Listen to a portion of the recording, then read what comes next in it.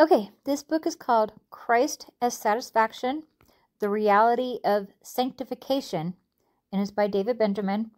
It is available by ebook uh, that you can download for free um, at christiansneedthegospel.com, or you can get the paperback um, and you can go to the website and it'll explain everything there. I think this is going to be awesome, and I'm looking forward to starting it and I pray it blesses you. And it is dedicated to the beaten sheep. Our problem is one of hunger and thirst. Here is the situation of a Christian. On the one hand, I have a desire that corresponds with the things of God. On the other hand, those desires are only fulfilled by Christ Himself. Amen. He is the righteousness that the law points to. Romans 3:21. Amen. The commandment says, "You should live this way." And I am judged because I do not.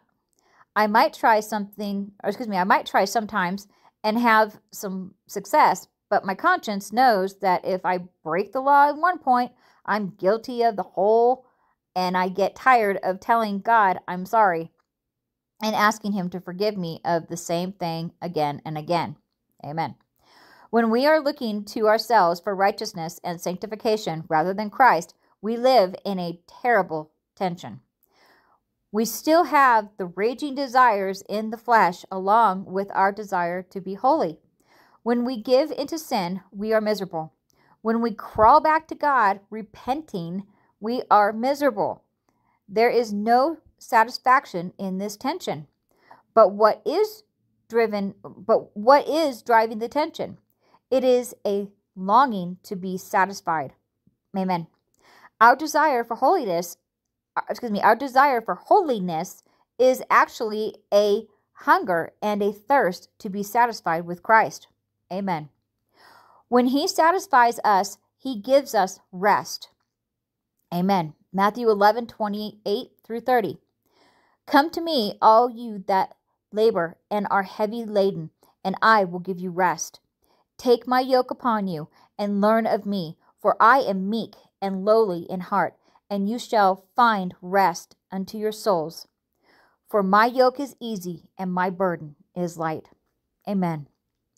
Rest is a deliverance from this terrible tension between my desire for holiness and my desire for other things that are at war.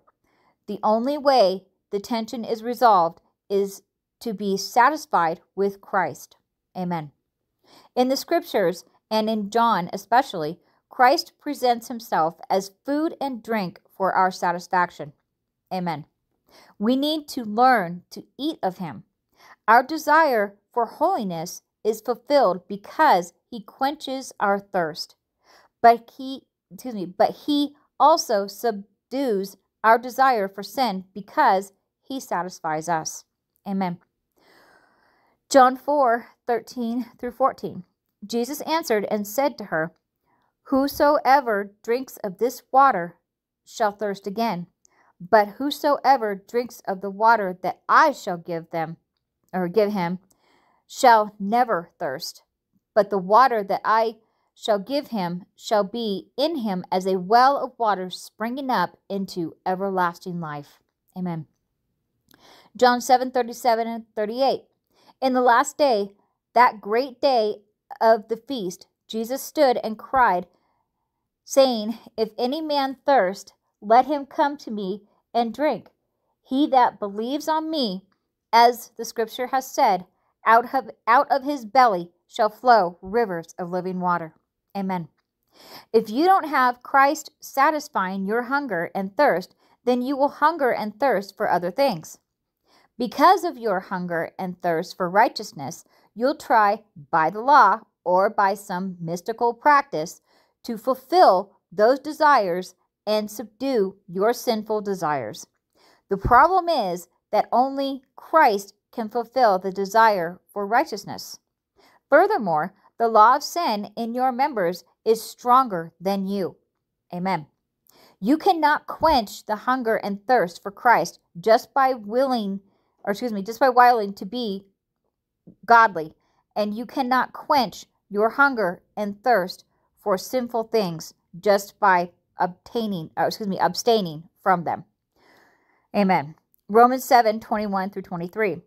I find that a law, I find then a law that when I would do good, evil is present with me. For I delight in the law of God after the inward man. But I see another law in my members warring against the law of my mind and bringing me into captivity to the law of sin, which is in my members. Amen.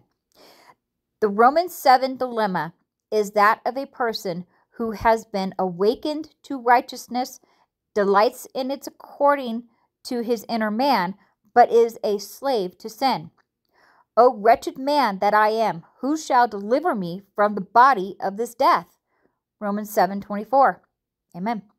People who pursue anything other than Christ is quenching or excuse me, people who pursue anything other than Christ to quench their thirst, satisfy them and be their life and their holiness end up having by the flesh and its strength to try to deal with the less.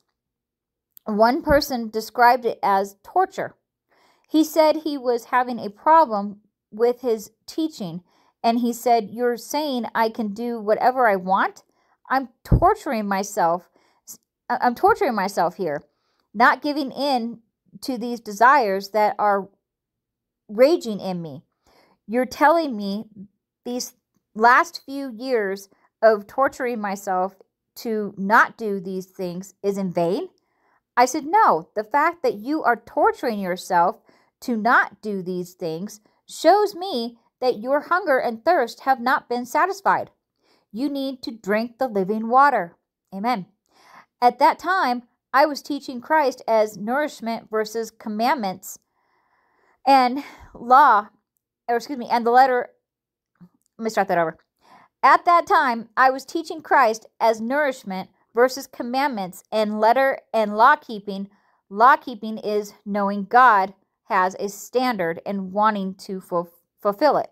A law keeper will try to say no to the desires, but the desires are still there. Amen. Whew. This was the dilemma of the children of Israel in the wilderness. The children of Israel had been delivered from Egypt. However, they had not been brought into the good land where the riches were abundantly available to satisfy their hunger and thirst. Amen. They were in the wilderness where all they had was manna. They were hungering, or excuse me, they were, yeah, hungering and thirsting for the leeks and onions in Egypt. Numbers 11 5. Amen. That is a terrible place to be. That's where most Christian, excuse me, that's where most people are in their Christian life. This is especially the case in anything other than Christ is present uh, if uh, if anything other than Christ is presented as the reality of sanctification. Amen.